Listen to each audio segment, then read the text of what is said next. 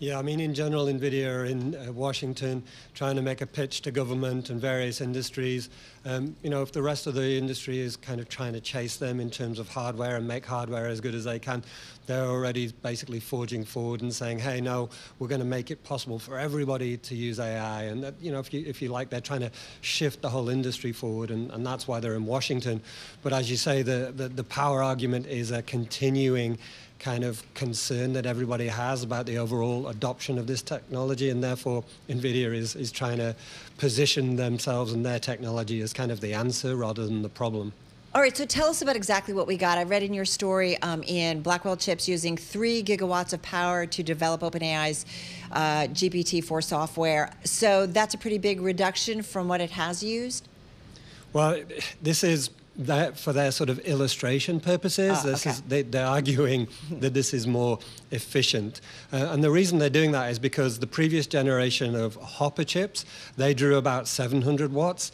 The new version that's coming to the market right now called Blackwell will draw 1.3 kilowatts, and that's obviously a lot more. So everybody's like, oh dear, is this going to like cause the, the earth to go dark? Um, and the answer is maybe, maybe not. I mean, Um, the, the, the, the problem, the, their argument is look, it works so much faster, therefore it's more efficient. And that is true in, in one way, but if you deploy more Blackwells than you deployed Hoppers, then maybe we've got more overall power being drawn. So there's a, a very nuanced argument being made here for the, how these things should be deployed. Maybe it will cause the, the world to go dark unless we put nuclear reactors and nuclear power plants back online, like Microsoft Constellation are trying to do when it comes to Three Mile Island, maybe?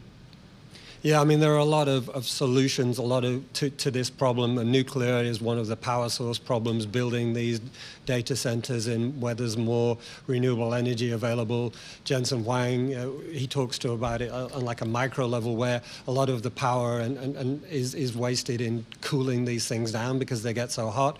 So he, his latest generation is going to be actually water cooled, which is kind of a back to the future sort of approach towards this thing, and that'll reduce the overall energy loss. So there are lots and lots of solutions being offered, but there's no doubt that they are absolutely needed because of the path that we're on in terms of data manipulation and what that means for the amount of computing that's being deployed. Yeah, there was another story today, right, about Google working with utilities in the US and other countries to assess nuclear power as a possible energy source for them. Okay, all right. So it just feels like yay, innovation, yay, possibly other big problem. Um, having said that, uh, NVIDIA Ian also talked about Agent Blueprint, some software news. What's that all about? Help us understand, um, help us become smarter when it comes to what NVIDIA is up to.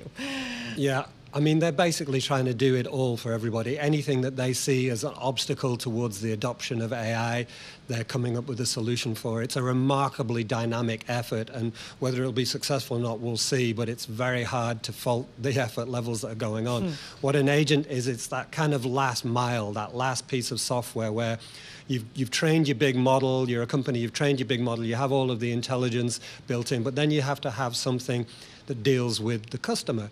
OpenAI's general solution isn't good enough, right? You need something specific, something that either will help you design a new vehicle or it'll deal with your customer service problems or it'll help you solve a, a, a drug discovery issue. And, and, so what NVIDIA is saying is, hey, we'll give you the blueprints to do these so you can go even faster. No obstacles towards deployment companies. Get out there and do it. That's what they're doing and uh, hard to uh, argue that they're not foreseeing all of the problems and trying to solve them right now.